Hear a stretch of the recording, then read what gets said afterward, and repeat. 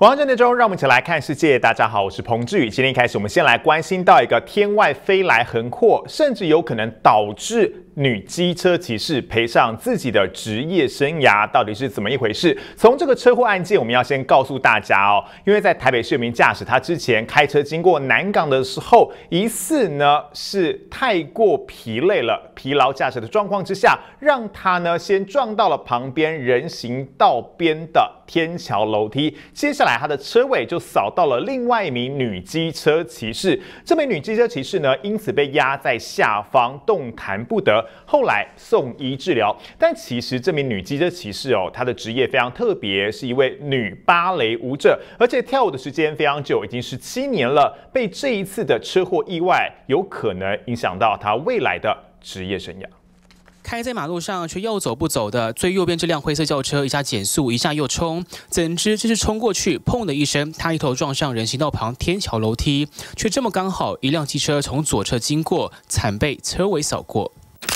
闯祸的车右侧车身严重毁损，至于被波及的机车直接被车辆压住，车壳破裂，碎片四散，车体也扭曲变形，女骑士受伤严重，紧急送医。他说他睡着，然后自撞，然后因为自撞之后冲击力。变成甩尾嘛，去甩到那个女生了。车祸地点在台北市南港一所国小前，被撞上的楼梯栏杆直接往内凹了下去。四十八岁的廖姓驾驶疑似前一晚熬夜，十九号下午行经向阳路时，自称开车开到睡着，直到撞车才惊醒。怎知车往外弹，波及从左边经过的陈姓女骑士，自我供称说。他开车啊，不小心就睡着了。有一个碰这样子的一声的时候，他才醒过来。受伤的二十五岁陈姓女骑士，其实是名芭蕾舞者，从小学跳舞跳到现在十七年，已经当老师五六年了。当天也是要去教课的路上，这次车祸右脚严重骨折，也让他相当担心，舞蹈生涯恐怕受到影响。只看到就是车子突然往上飞起来，我有看监视器画面啊，就是汽车压在我的身上这样。我就是本身就是芭蕾舞者，那芭蕾舞者又更困难，可能还是要看之后复健的程度。肇事廖姓驾驶并没有酒驾，对于车祸撞伤人一事相当自责。警方也提醒，精神不好就别开车，毕竟这一撞对舞者来说影响之大。复健之后还能否站上舞台，目前不敢去想。开车开到睡着就等同，就是我觉得跟酒驾就差不多了。TVB 新闻王金乐关于泰报道。再来，我们来关心到空气品质，尤其昨天晚上的时候，很多台北市的居民都说：“哎，这个空气闻起来是不太对劲啊！不但有这个浓浓的焦味，甚至呢，闻起来就是有一种烧塑胶的味道，让很多人都觉得边闻就觉得头非常的痛。但是呢，今天我们要先带来还原整件事情的事发经过。其实从一场火灾开始，深坑呢出现了火灾，而且这个地点呢就在深坑的工业区里头的。这个中华大雄公司地下室，这个火势蔓延的非常快啊，从地下室一路的往上烧，当中有非常多的意外呃易燃物质，包括是纸张啦，还有三 C 产品。最让大家特别觉得惊心的就是里面有七千颗的锂电池，烧了将近四个小时。虽然这个火势是一度的扑灭，但是不断的复燃，也让消防人员觉得非常头大。工业区发生大火，警校到场时，火势不仅全面燃烧，还往上蔓延到整栋三楼高的建筑物。只看到现场地上铺设满满的水线，消防队员都得压低身子，不断抢救。火势猛烈，这场景不仅高速公路上面的民众目击，就连好几公里外的民众，从住家顶楼都可以看到浓烟像是一条黑龙往空中快速移动。他们现在在前面排烟，你们后面有那个出入口吗？消防队员涉水后，水汽也逐渐扩散，在场的人员赶紧出动排烟设备，只是这把火从白天一路闷烧到黑夜。为了灭火，消防队员出动小山猫，将可能燃烧的杂物全部清理搬运到街头，也不断洒水降温。可是现场温度还是很高。二十号下午两点多，民众报案深坑工业区中华大雄公司地下室着火，烧着烧着，一到三楼也起火，火势将近四小时熄灭，燃烧面积大约一千平方公尺。由于现场堆放大量纸类、三 C 产品、蓝牙耳机，有的商品还有锂电池，数量约七千颗。结果火势熄灭不久又复燃。对它锂电池，就是它可能一开就是会有熄灭的状况，然后在化学反应之后会再复燃。虽然没人受伤，也没住户，不过警消还是彻夜守候在现场。直到隔天一早，民众上班还是可以看到白烟。公司负责人非常低调。你们是做什么样子的产品？才刚过完年，开工不久，仓储使用的地点被火吞噬，负责人和员工想必心情不好。但这把火不止烧了他们心灰意冷，发出了恶臭，也让附近居民臭得更不好受。TVB 新闻综合报道。这一场大火真的让全城遭殃，尤其我们说的就是台北市了。这个火势呢，虽然从下午一路烧到这个接近傍晚的时候，但是扑灭，没有想到当中的恶臭气味，连让。连续让很多的台北市的居民都说完全受不了，甚至到了晚上的时候，包括是新北市的新店、永和，还有台北市的文山区，都能感受到这股浓浓的气味，甚至呢，这样子的残留废气的状况呢，也弥弥漫在巷弄之间。很多的民众都说受不了之外，也认为说相关单位像是市政府怎么没有做任何的反应呢？有民众。等不到台北市长蒋万安的说明哦，干脆到脸书上去灌爆，直接说市长是鼻塞了吗？还是你要到明天看报纸才知道呢？而面对质疑，台北市长蒋万安也承认说，的确有改善空间。戴口罩，好然后尽量朝外。要学童戴紧口罩，别乱跑。台北市长蒋万一早特别增加行程视察木栅国小，因为前一天深坑大火，臭味弥漫整个文山区，不少居民还以为家里电器着火，还是有毒物质被烧出来了。市府到底有没有监测到？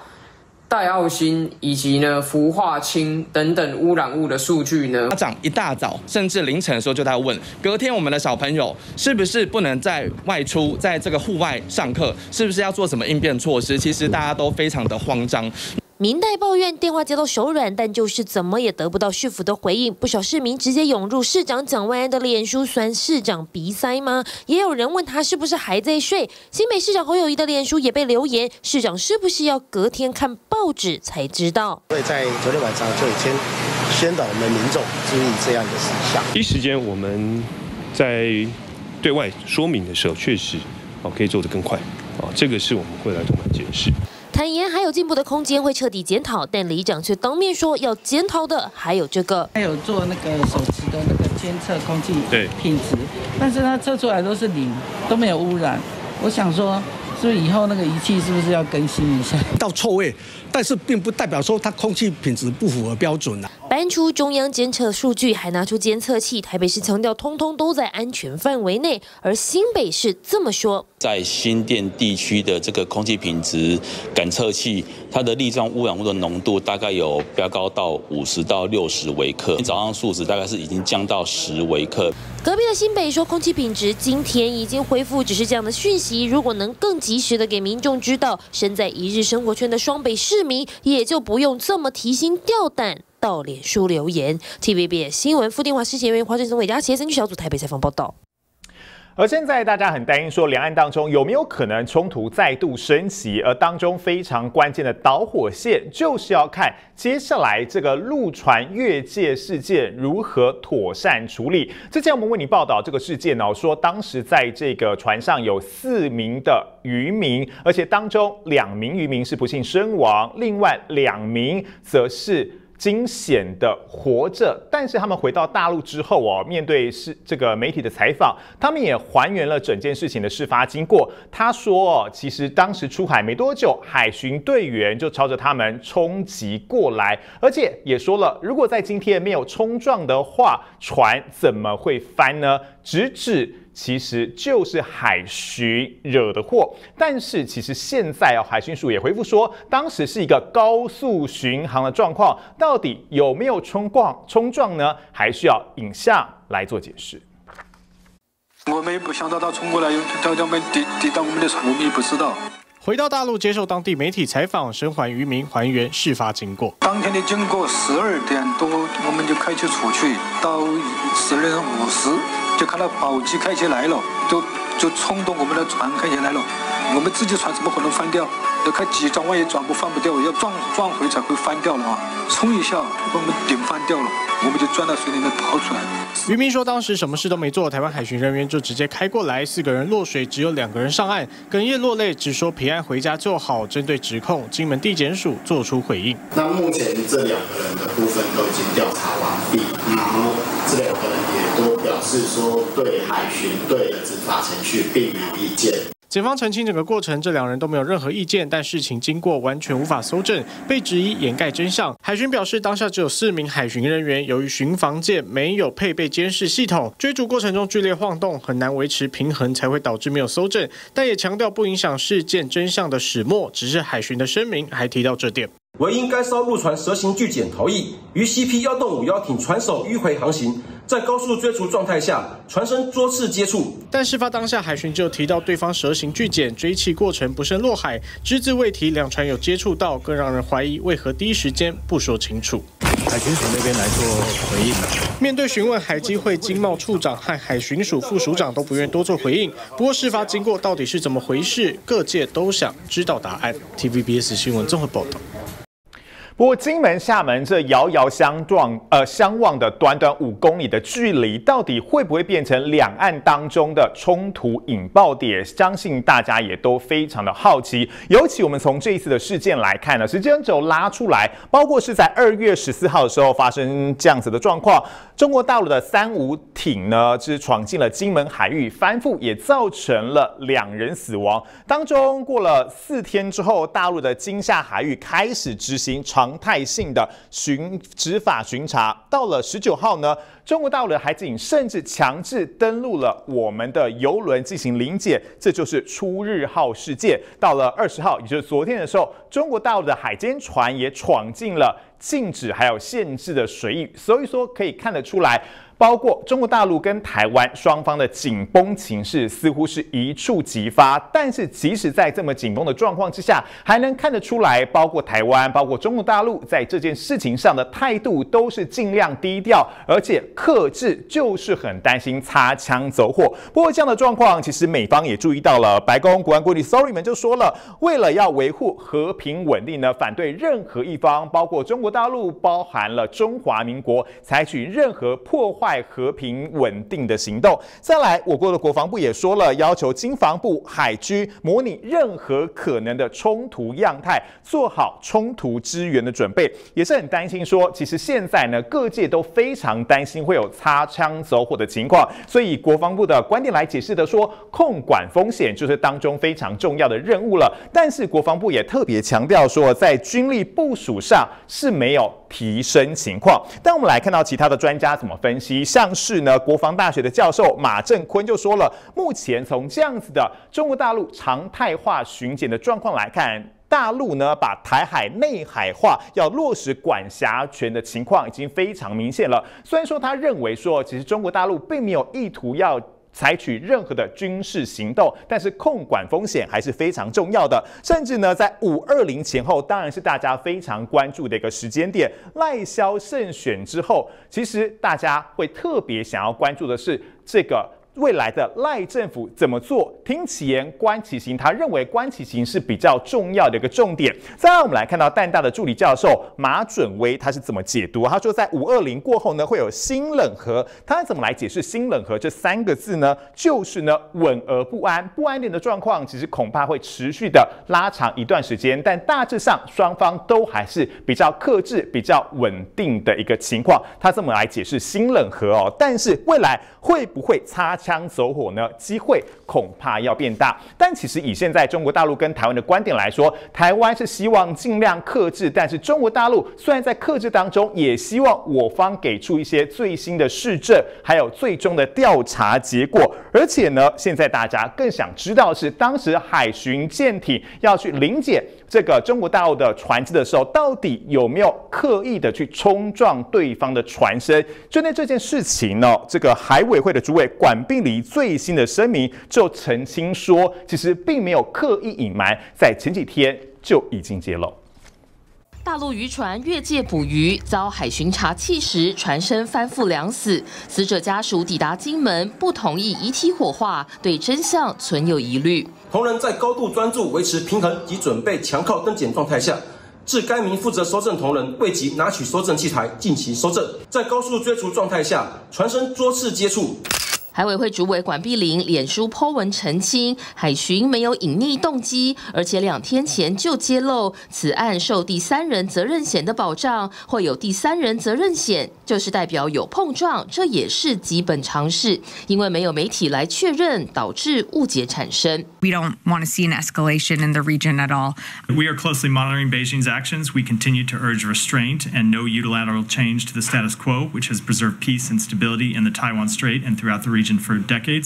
就怕两岸关系更紧张。美国白宫和国务院重申反对破坏台海和平稳定。情势如何演变，外媒也高度关注。中国관영매체는푸젠성에서실시된대규모상륙훈련장면도공개했는데중국어민두명이사망한사건을계기로양안간의갈등이고조되는양상입니다韩联社报道，往年台湾在台湾海峡设立禁区，阻止中国船只进入。大陆对此睁只眼闭只。 眼如今无法再容忍，中共势必趁此机会将台海内海化，这也将是五二零上台的总统赖清德面对两岸关系的最大考验。它不会升级成所谓的军事呃冲突，也是因为中国它派遣的是所谓的海警。中国漠视台湾管辖权，开始在金厦海域常态化巡查。外媒路透社报道，大陆将赖清德视为危险的分离主义者，渔船翻覆事件恐怕让两岸局势再升温。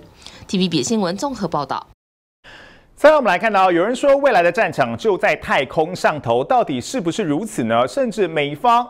透露了消息说，未来俄罗斯很有可能就把战场设定在太空上头，怎么一回事？彭博社就报道说，其实现在美国警告盟友说，俄罗斯最快在今年就会送核武或是模拟弹头上太空。如果这个太空武器真的在太空当中引爆的话，恐怕会影响三分之一的卫星，等于说地面上的通讯有可能因此破坏，而且。如果真的把这个太空武器送上外太空的话呢，就会违背了一九六七年的外太空条约。不过，虽然说流言一出，这个俄罗斯依旧是保持着否认的态度。像是普京怎么说呢？他说一记一贯是坚决反对太空部署核武，而俄罗斯的国防部长肖伊古也说了，其实并没有相关计划，而且点名说美国非常清楚。但是，其实对俄罗斯来说，他们现在最重要的目的就是希望可以在整个乌克兰的战场上获得更多的胜利哦。像是普京也打算要乘胜追击，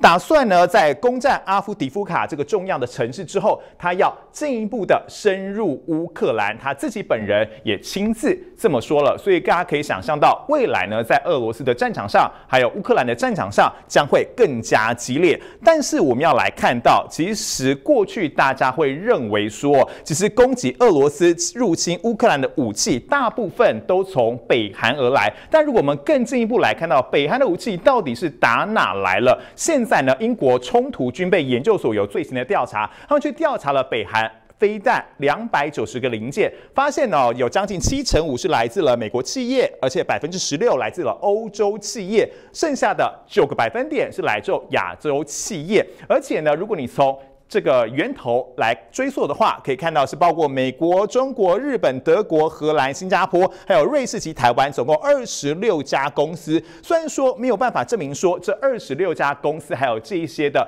这个零件提供处其实不是故意的输出北韩，但还是呢被拿出来被做提醒。而且呢，其实现在他们也认为说，这代表说北韩其实建立了个非常强大的武器的采购网络，才有办法支撑这样子的一个国防工业还有武器的发展。再来关注到北韩，要来看到他的车，我们都知道北韩的领导人金正恩是一个车迷车痴，他只要看到这个名车都会非常开。心，而在今天呢，他也收到了一个大礼，而且这个大礼是从俄罗斯来的。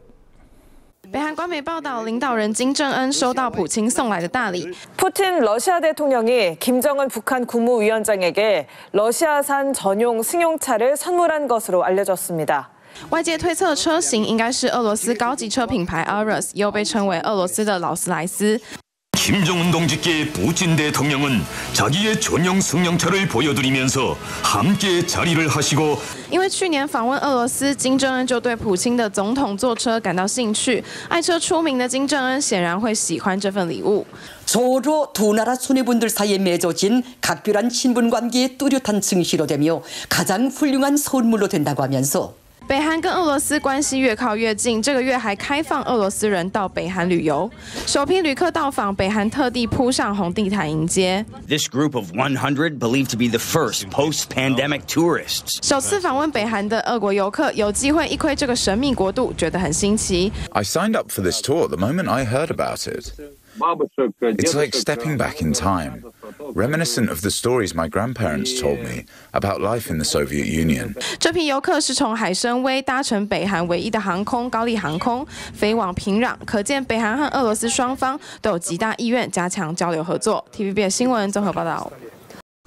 美军是持续在中东，希望可以展示他们的威慑力量，但似乎是成效不彰。我们最后带你来看到了，就是呢，这个美国的两名官员证实说，在红海的周边城市和台达这边，在二月十九号的时候，他们的一个无人机 MQ 九型的无人机是遭到了今年运动地对空的飞弹来击落，而且呢，到底是不是处于国际空域这件事情还要进行调查。但是如果我们从次数上来说的话，已经是半年之内的第二次。但是这架无人机哦，到底有多厉害？其实根据国会研究处的报告，他们发现说，这一台无人机光是造价其实就要将近新台币十亿元，而且如果是卖给外国的话，其实当然就更贵了，就来到了这个将近三十亿。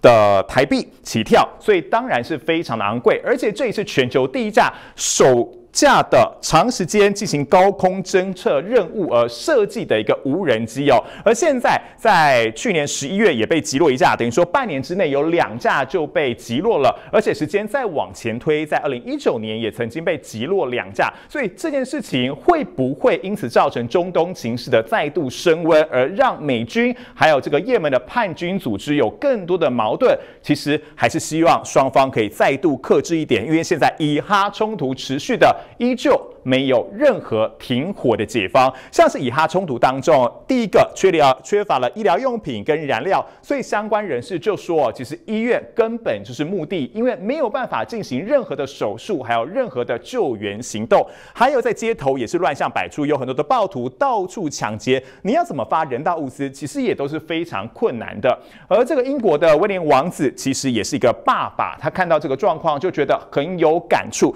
他说了，只有这个面对大规模的人道苦难时候，才会意会到永久和平的重要性，也喊话说，希望以色列跟哈马斯都可以尽快的结束战争。但是以色列还是认为说，绝对要坚持到底。他们再次喊出了这个非常重要的条件，说是除非一百三十四名人质悉数获释，而且哈马斯被歼灭，否则战争依旧无法画下句点。而现在在联合国上啊，大家都很希望说，美国是不是有动作？但是美国三度否决了停火决议，甚至在加萨地区也出现了记者被轰炸的场面。主观镜头记录下这群穿着防弹背心的记者拼命狂奔他们背后不断传来枪炮声。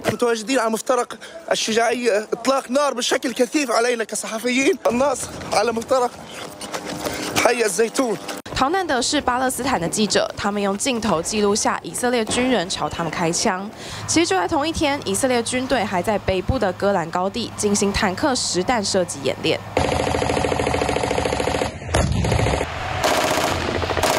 message that I have is that we're prepared. 以军似乎在为下一波行动进行准备。以色列总理纳坦雅胡也说，在夺回人质之前，他们的军事行动不会停下。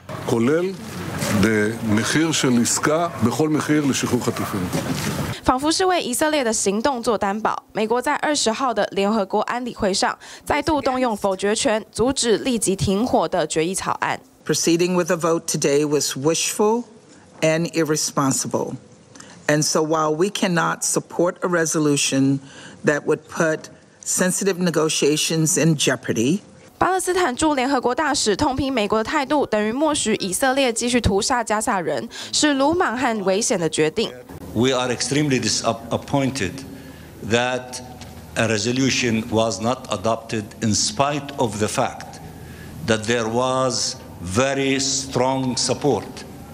by 13 and a half, you can say close to 14 members. We are urging Biden and the US government to use its tremendous leverage to force the Netanyahu government to stop the bombing 这是以色列和哈马斯爆发冲突以来，美国第三度动用否决权。美国的决定也注定让加萨之乱继续下去。TVB 新闻综合报道。 马斯克真的非常厉害，他似乎实现了很多大家往往都在科技电影当中所看到的情节啊。最新的创举是什么呢？就是他旗下的神经新创公司哦，在上个月底就帮第一位人类进行了植入大脑晶片的手术，而且现在时间一久，开始慢慢的有更多的资讯露出了，就是病患呢似乎已经完全康复，而且可以透过他的思考来操纵滑鼠。但是呢，现在相关的人士还是在更多的监测说，到底可以用滑鼠做出更多复杂的动作，还是他们希望可以达到的？但是呢，针对这一项的手术，还有它的任何的资讯，基本上这家公司还有马斯克本人是没有透露太多。但其实这样的手术，如果大家真的有需要的话，会不会想做的呢？因为其实看上去。蛮恐怖的，像是他们的二零二四目标来说，是开始为人脑植入晶片。他们要寻找的是四肢瘫痪的患者进行第一波的临床试验，切削你的一小块头骨，然后再植入一块硬币大小的晶片，接着人脑跟晶片就可以互相连接。当人脑跟电脑相连的时候，这个瘫痪病人就可以靠他的意念来控制手机或是电脑。以现在他们的观点还有他们的做法来说，就是可以针对。意识来进行滑鼠的控制，但是当然了，在脑中植入晶片，可能大家还是觉得蛮惊悚，至少我个人是这么认为的。但未来只要戴上戒指，你有办法执行很多复杂的动作。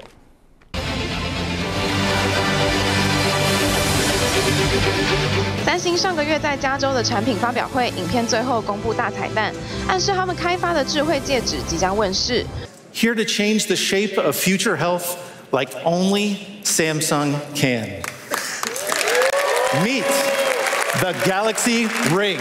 官方没有公布太多细节，只表示这款智慧戒指拥有大量的感测器，可以更简化方式帮助佩戴者在家管理自己的健康。With AI, technology is empowering us to stay connected, unleash our creativity, and build healthier habits. 另外，苹果也传出他们将推出智慧戒指，相关设计图已经在网络上曝光。苹果已经申请多项专门利用在智慧戒指的专利，功能可能跟已经问世由芬兰设计的 Aura Ring 相当类似。Aura is a smart ring that delivers personalized health data, insights, and guidance. Um, our, our members refer to it as a kind of sixth sense. 不仅能收集心跳、呼吸率和睡眠数据，最新第三代还可以测量体温和月经周期，通过蓝牙传输到应用程式来监控健康，而且充电一次就能维持一整周。Aura is amazing. It it's it gives your body a voice.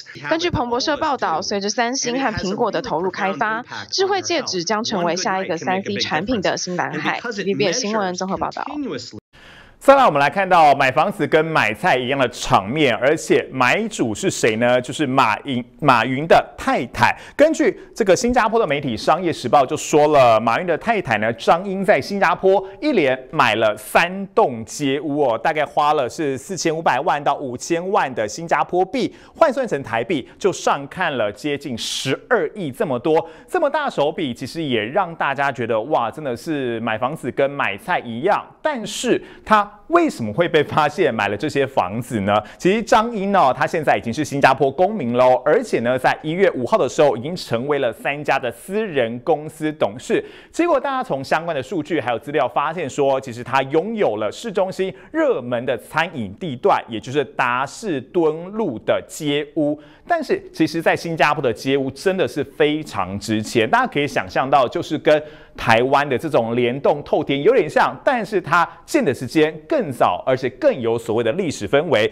像是这种新加坡的街屋老宅哦，大概是一八四零年到一九六零年的殖民时期，当时有很多的商人发财之后、发达之后，其实就盖这种联排建筑，大概有两到三层楼，一楼是商铺，专门做生意的，而他们就住在二三楼的这样子的状况。过去当然非常有历史意涵，还有商业意涵，但现在来说，已经变成了小资高级生活活的一种象征。等于说要够有钱，才有办法买掉这种街屋老宅。但是呢，在去年八月的时候，在新加坡当地哦，发现说，诶，有很多的中国大陆的公民专门跑到新加坡买他们的房子，爆出了洗钱丑闻，也让这种公共的街屋呢被查封，也让市场大幅的降温，而且有很多都是有出售情况。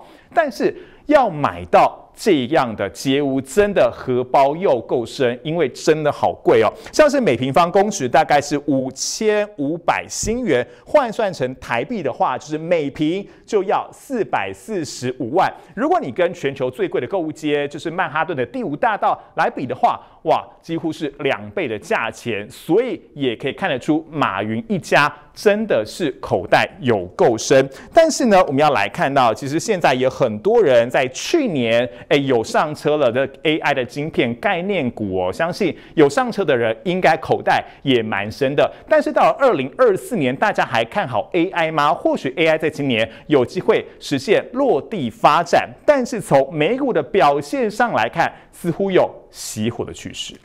Watching the latest in AI generated content. This is Sora in action. 不管是动物、人物还是古迹，这些影片都不是真的。这是 Open AI 计划推出的新功能 Sora，只要输入几行字就能够生成影像。One user tweeting a bicycle race on ocean with different animals as athletes riding the bicycles with drone camera view. Altman responding with this video. 虚幻情节栩栩如生，当然也能伪造真实存在的人物。We heard about an executive at a multinational company in Hong Kong who was conned out of $25 million in a fake video call. We've also heard of virtual kidnappings that are staged and you hear your kid's voice. 这都挡不了 AI 的热潮大爆发，其中最大的受益者当然还有 AI 晶片龙头辉达。EOS is where NVIDIA developers create their leading-edge AI innovations. 辉达预计台湾时间周四凌晨盘后公布去年 Q4 的财报，尽管外界仍相当看好营收表现，但是美股大盘却唱反调。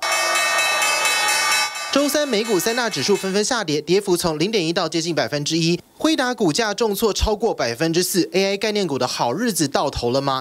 有女股神之称的方舟投资执行长伍德今年就出新手上四百五十万美元的辉达持股。原来外界认为竞争对手英特尔可能迎头赶上，还有美国各大企业都在发展自己的 AI，撼动辉达独尊一家的地位。Are we going to go into recession or not? Is the economy going to have that soft landing or not? 另外大环境也不佳，美国通膨有死灰复燃的迹象，种种利空都让投资人信心。不足导致美股大跌。体育做不到。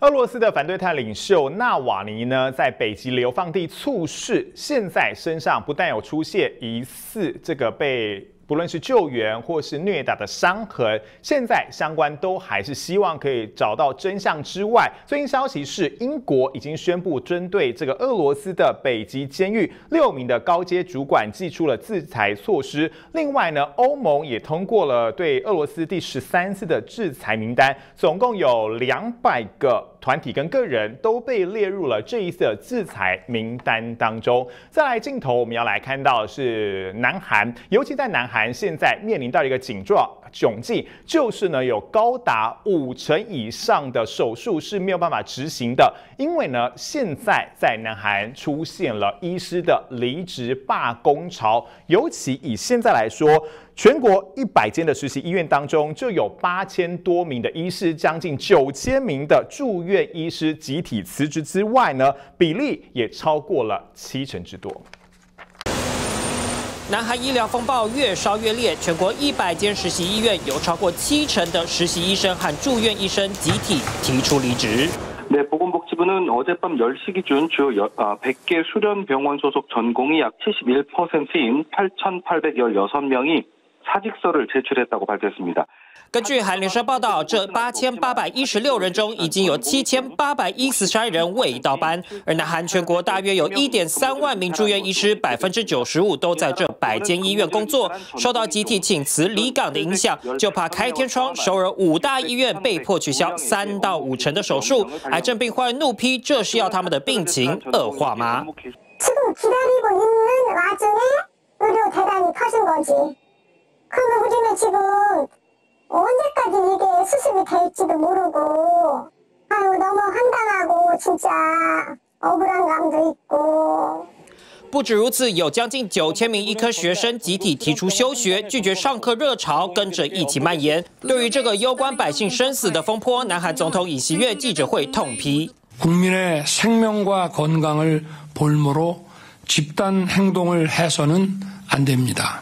南韩卫生福利部下了最后通牒，要求七百多名医生必须返回岗位，否则将吊销医师执照。의사들이어느정도타협점을찾아서빨리본인의자세로돌아가서그환자들그어려운그시기를안놓치고하게끔 除了下达复工令，南韩政府也提高紧急诊疗报酬金额以及住院医师业务的医师补偿金等，试图降低罢工所造成的影响。TVB 新闻综合报道。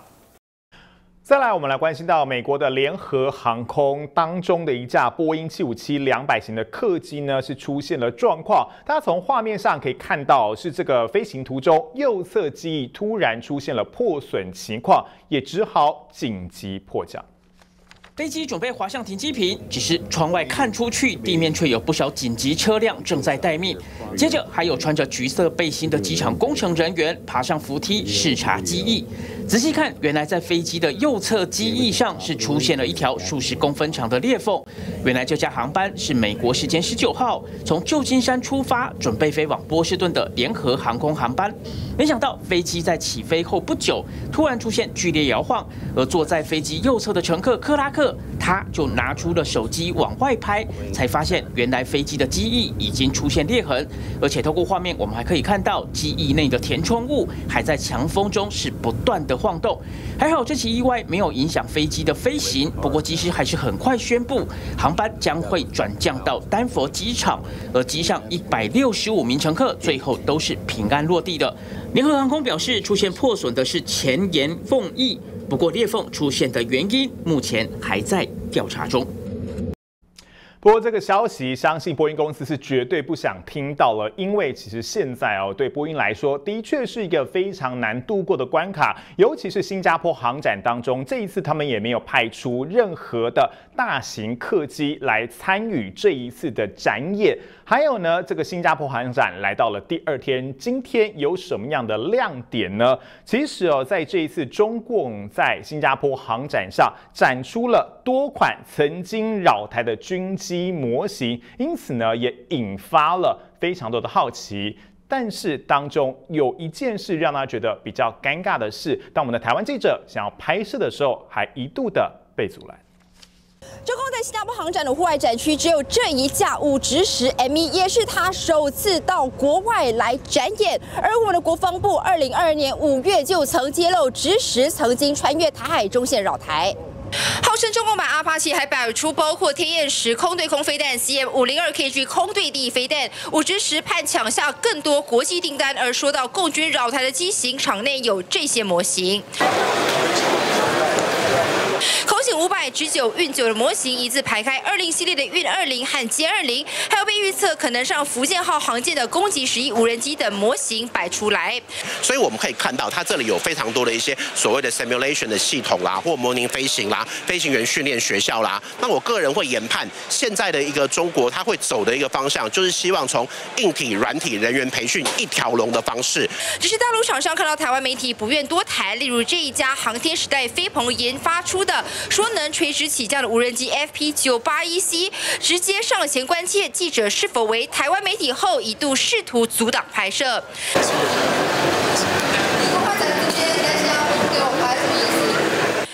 不不在珠海，在新加坡航展，只是学者也观察对岸厂商此次采取这策略。因为就无人机来说，重点是所谓的 UAS 是 system 系统这一面，所以我们可以看到它这一次除了这一些大型的军火商之外，也有很多是系统商，甚至是一些感测的一些仪器的厂商都有过来。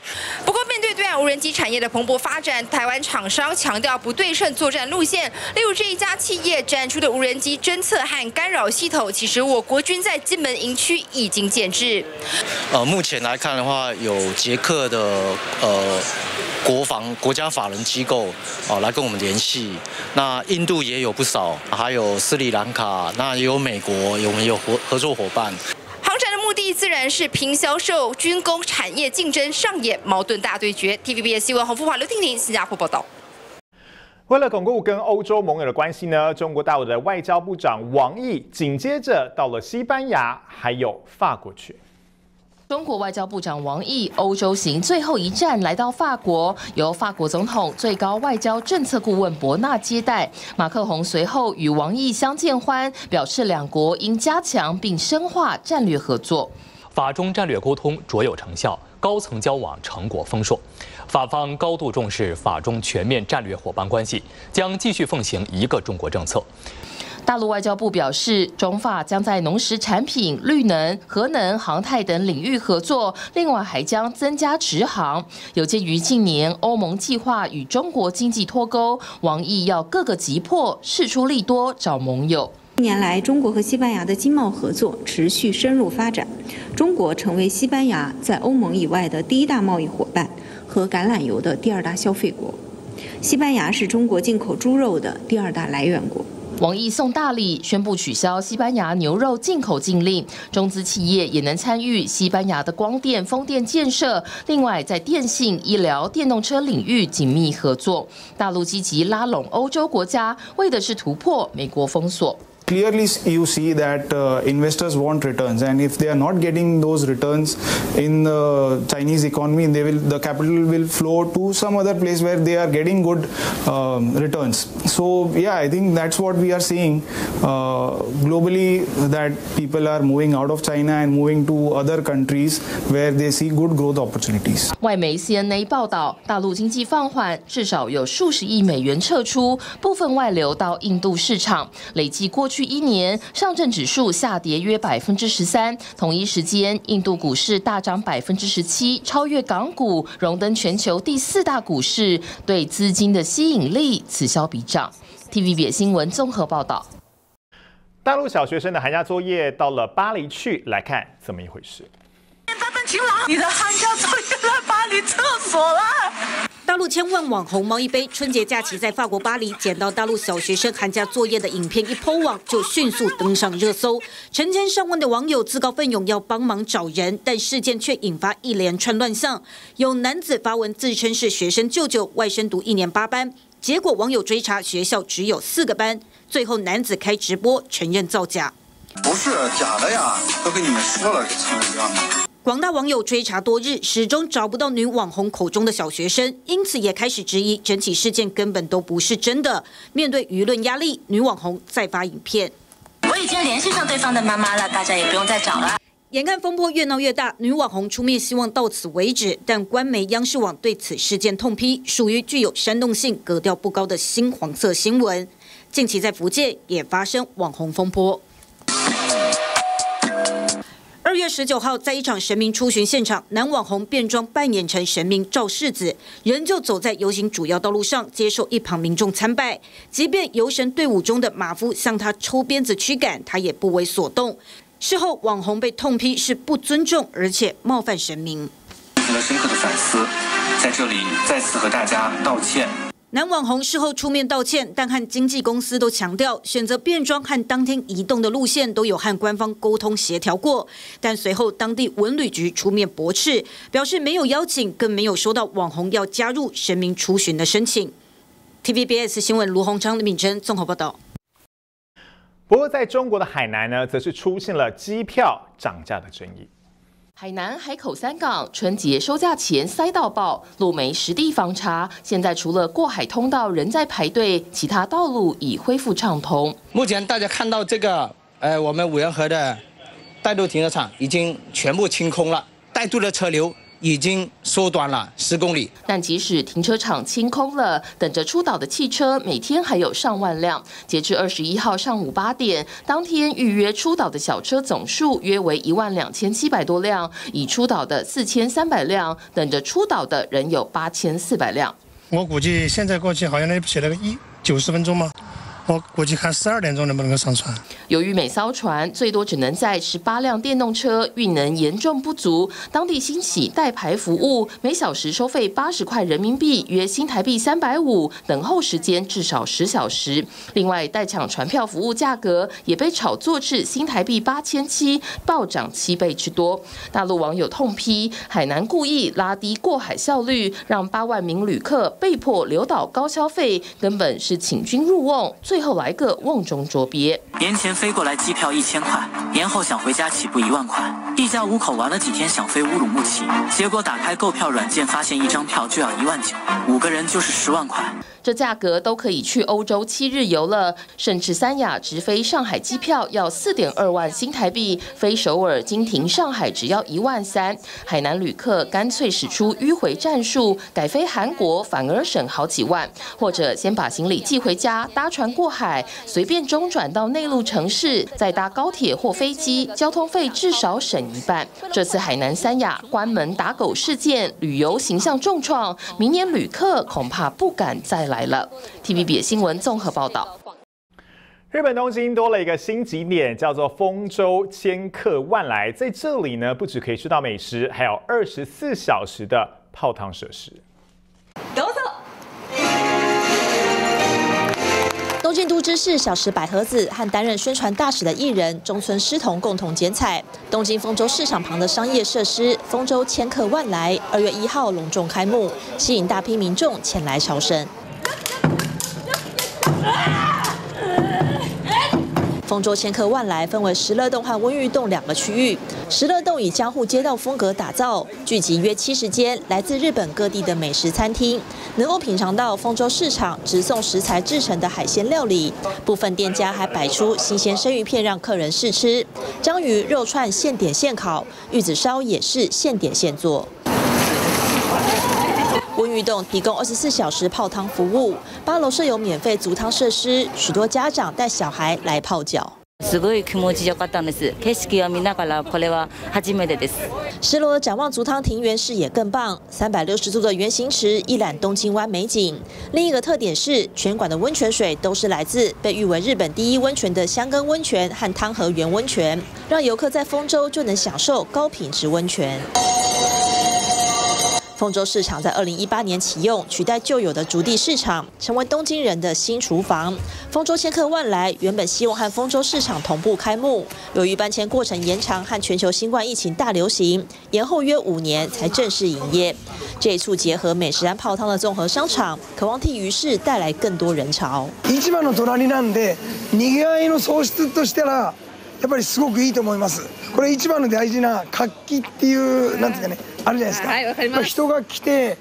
やっぱりそのお互いの相乗効果っていうのはいいと思いますんで、これからに期待はしてます。丰州千客万来兼具饮食、温泉和购物等多项功能，加上交通方便，东京都知事小池百合子喊话，希望能发展成临海地区的新面貌。预估一年可吸引约两百六十万人造访。长期研究竹地市场的日本作家福地祥子记录了丰州市场的创立过程，他也乐观看待这座新商场能够振兴当地观光。あのもうここは本当お寿司の聖地みたいになってるんですけれどもちょっと一つ あのユニークなものとしてあのマグロバーガーなんかを仲卸のお店が出店して販売するんですね。そのあたりもちょっと面白いかなみたいに。产地直送新鲜制作的海鲜汉堡，吸引澳洲游客尝鲜。I don't normally um, go for seafood burgers, but when I saw the garlic shrimp, I thought, oh, I'll try that. 然而，日本发现千客万来吸引大批外国观光客朝圣，餐点价位却似乎贵上两三倍，坑杀游客。例如，一份尾鱼冻要价台币一千五百元，海鲜冻要价约台币三千两百元，根本是卖给外国人的观光冻。才刚开幕的千客 万来能否持续吸客，还有待观察。TVBS 新闻综合报道。今天聊国际，我们要大家聊的是科技业跟 AI 哦，尤其现在因为 AI，很多的科技人都被裁员了。虽然大家解读是有可能是为了创造更好的财报，但是的确部分的工作内容还真的被取代。我们先来看到 Google 了，Google 在二零二三年的第四季获利了美元两百零七亿，但是呢，其实包括销售、硬体工程，在上个月又在裁员了将近上千人哦，让让大家觉得哎。摸不清朝头绪，尤其呢，在这个时间点，他们发布了内部使用的大型语言模型 Goose。但是呢，其实为什么这个大型的语言模型这么重要？因为呢，它可以回答跟 Google 特定技术的内部相关问题，而且也可以帮助工程师。更快的写出这些指令跟编码，所以让大家觉得说，会不会这个 Google 未来很多的工程师都会被 AI 所取代呢？尤其呢，全球劳工趋势网就说了，在二零二三年五月以来，将近有四千六百个工作因为 AI 而不保，而且呢，总共一百五十九家的科技公司裁员将近四万两千人。所以现在呢，很多工程师真的还不敢随便乱换工作，因为他们发现说，哎，工作。现在没有以前这么好找了，像是职场社交平台就说了，调查将近万名的软体工程师，有九成的人都发现，如果现在跟疫情前相比的话，是更难找工作的。而且呢，如果你说今天失业，明天可以找到同等工作的话，也有高达三成二的人是完全没有信心。但为什么 AI 会取代工程师呢？我们来看到 Google CEO 的观点，他说，AI 驱动工具会把人员编码所需的时间缩短了六。六个百分点，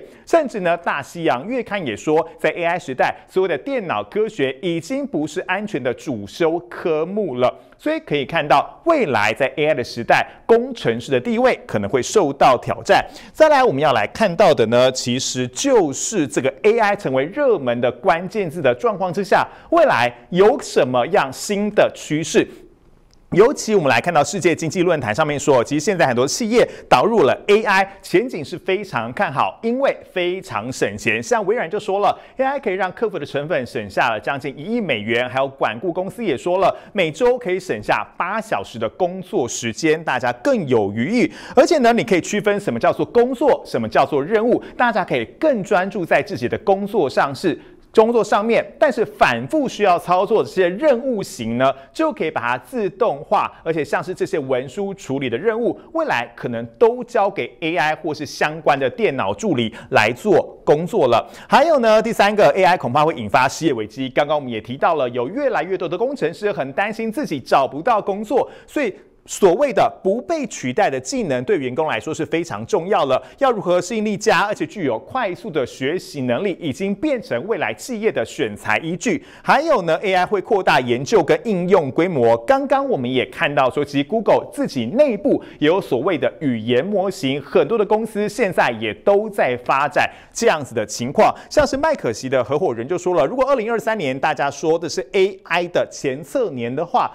今年就是 AI 实际落地的一年，所以未来会有更多的 AI 工具。但其实现在在游戏产业里头也面临挑战。我们说的是 AI 挑战，但除了 AI 的挑战之外呢，当中如何推陈出新，也变成他们需要来马上解决的困境。玩家以第三人称视角和岛屿上一群超过一百种各自拥有独特技能的生物帕鲁们战斗、捕获和养成。这款设定为开放世界、叫做《幻兽帕鲁》的动作冒险生存游戏，是由日本一间二零一五年成立的游戏开发商 Pocket Pair 所推出，今年一月才发行，就在全球爆红。不过，打从上线前，这款游戏就因为抄袭疑虑而掀起话题，还被戏称是拿枪版的宝可梦。思いっきりパクってるなっていうのは まあ 思いましたけど、まあでもちょっとその発売される前からちょっと話題になってたんですよ。やっぱなんかちょポケモンのパクリでポケモンが銃撃ったりとかそういうことをするゲームが。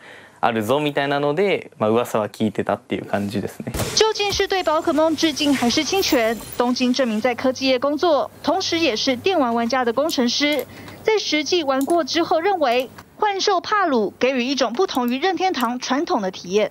実際パルワールドをプレイして、まあポケモンに似ている部分もあるんですけども、そうじゃないまあオリジナリティな部分もあるし、まあその結局そのポケモンには建築っていうのは。まあそのものを作ったりっていうのはないけどパルワールドにはあったりとか、まあ、再以销量来做比较，幻兽帕鲁在开卖的八小时内立刻突破百万销量，至今一个月已经卖出将近两千万份。The game is not only a viral hit in Japan, it's a viral hit worldwide. Right, so that's very, very rare that a Japanese game comes out of nowhere and it, that it's not by, made by Nintendo or not by one of the big studios in Japan. 而任天堂 Switch 平台的宝可梦系列销量高达两千万到两千五百万份，却是用了三到五年的时间。せっかく面白いゲームなので、まあパルワールドも残りつつ、まあ任天堂とも仲良く。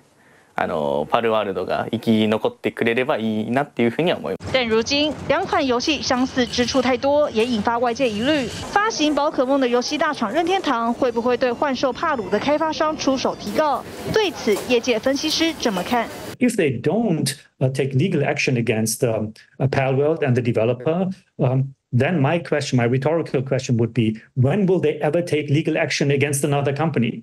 就在关注抄袭争议的同时，全球玩家们也在敲碗被评为日本最畅销游戏主机、发售至今已经七年的任天堂 Switch，今年推出第二代新机的可能。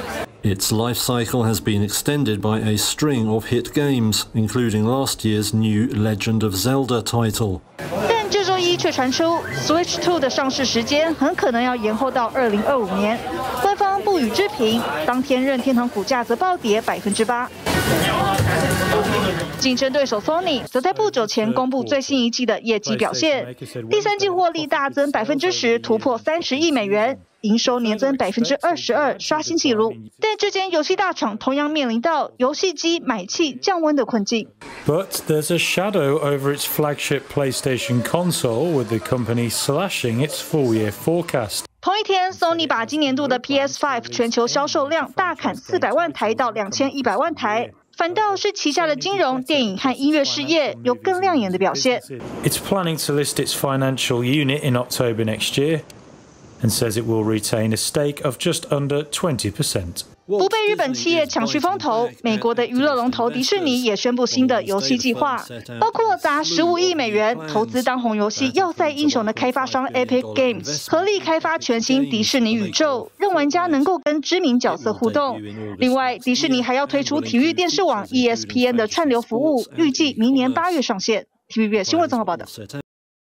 若不玩游戏的人，或许很多人会像我一样喜欢看旧片、看老片哦。但其实，在串流平台上，现在已经是大家看电影或是看影集当中非常重要的一个平台。像是 Nielsen 就说了，在二零二三年的串流媒体年终回顾当中，美国观众看串流节目的时间比前一年增加了百分之二十一。哇，你可以想象是一个多长的时间吗？就是两千一百多万年，而且已经是连续第二年。成长超过两成了，但是你知道哪部片大家最喜欢吗？其实这种老节目反而是更受欢迎，第一名的就是《无照律师》，总观看时间达到了五百七十七亿分钟哦。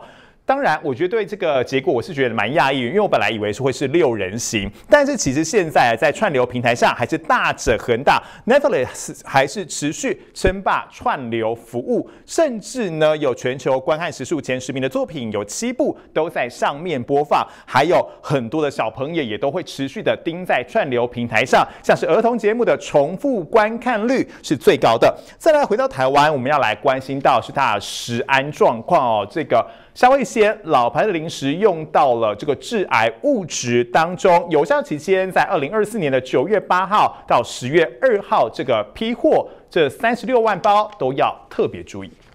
员工从输送带抱下一箱箱虾味鲜，一早就准备出货，而一次问题辣味虾味鲜则是堆叠在厂房旁，数量好几十箱。苏丹红辣椒粉风波再扩大，波及老牌的玉荣食品厂。原料商发生这样的事件，对于消费者及社会大众所产生的不安及疑虑，在此我们致上万分的歉。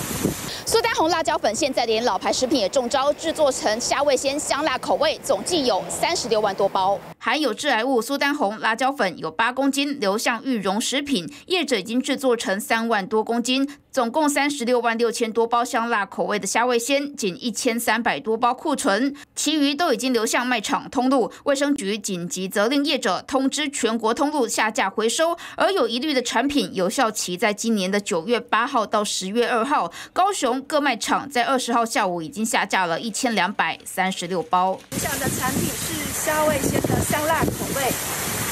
那其他的产品呢？这次并未受到波及，所以消费者可以安心享用。有效日期是九月八号到十月二号的吗？二零二四九月三十。新竹市卫生局稽查各卖场、超市等十三家的实体通路，下架一千八百二十七包辣味虾味鲜，将会进行回收退货。至于苏丹红辣椒粉源头，也出货二十五公斤到高雄马尔市贸易公司，部分原料制作成十九项的调味粉，下游通路完成下架回收，含苏丹红辣椒粉流向追追追，现在连老牌零嘴虾味间也成了受害者。TVBS 新闻陈世明、徐继宏、黄小琪，高雄新竹综合报道。TVBS 新闻直播回到 YouTube 频道了，提醒您每周一到周五的晚间七点到九点，由新化主播为各位新闻划重点，记得一定要来参加直播。